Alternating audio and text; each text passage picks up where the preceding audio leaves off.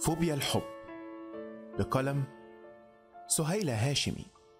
يقرأ عليكم محمد محسن. أصبحنا نخاف تلك الكلمة الصغيرة البسيطة التي تتكون من حرفين متلاحمين متشابكين حتى تخال أنهما حرف واحد. وسط مجتمع شرقي يجرم الشغف والمحبة كلاما وممارسة.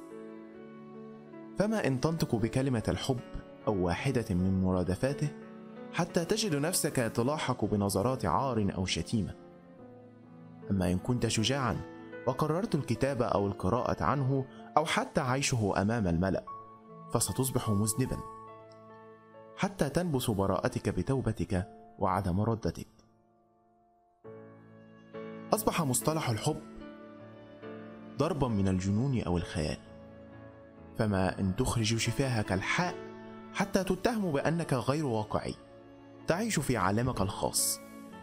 كونه أصبح مستحيلا الاعتراف بوجوده حتى ولو كان يغلف روحك كاملة في عالم اكتسحته الماديات.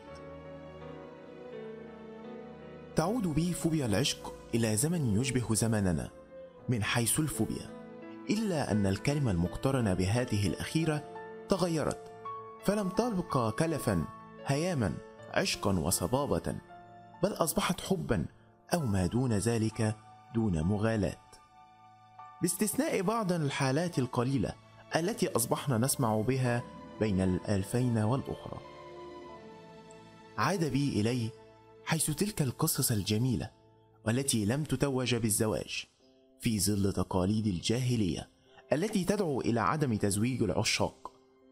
كيفما كانت نتائج هذا الفعل والذي غالبا ما تكون مأساوية بموت أحد الطرفين أو كليهما ولعل من أشهرها وأجملها وأحبها إلى نفسي قصة عروة وعفراء.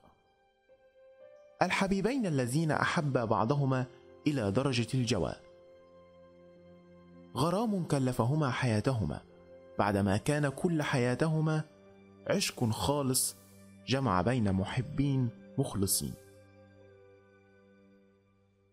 قذف بهما إلى الحياة الأخرى حيث لا ظلم ولا استبداد بالعاشقين. مات عروة بعد زواج عفراء من رجل آخر وتتبعه هي بعد عدة أيام من الإضراب على الطعام. وقد قال قبل وفاته بعدما اشتد عليه الضني والسدم تحملت من عفراء ما ليس لي به ولا للجبال الراسيات يدان. كأن قطاه علقت بجناحاها على كبدي من شدة الخفقان. فوالله لأنساك ما هبت الصبا وما عقبتها في الرياح جنوبي. وإني لتعورني ذكراك هزة لها بين جلدي والعظام دبيبي. كل هذا وما زالت لعنة الحب الضائع تتبعنا إلى الآن.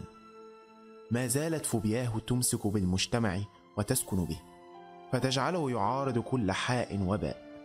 جعلته يعارض الجمال والحب لأن سمعته أصبحت فاسدة.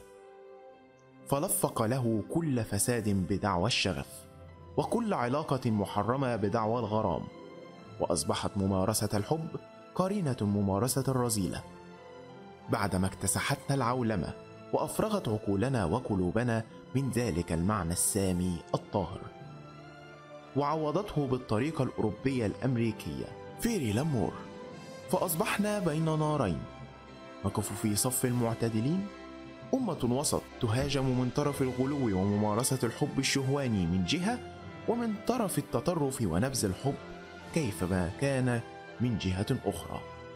أمة تناست أن الإسلام هو السباق إلى تغيير تلك النظرة الجاهلية وتنزيهه للحب من كل الشوائب وإعطائه المعنى طاهرا يتجلى في قوله صلى الله عليه وسلم ما رأيت للمتحابين خيرا من النكاح وغير مفهومه كاملا من شيء يستعر منه العرب إلى رزق وهو يتحدث عن أمنا خديجة قائلا إني رزقت حبها. دين دعا إلى الحب في ممارسة شعائره. فكيف لنا أن نخاف من دعوته التي شملت كل شيء؟ ونغلو أو نتطرف. بعيدا عن التقاليد والأعراف.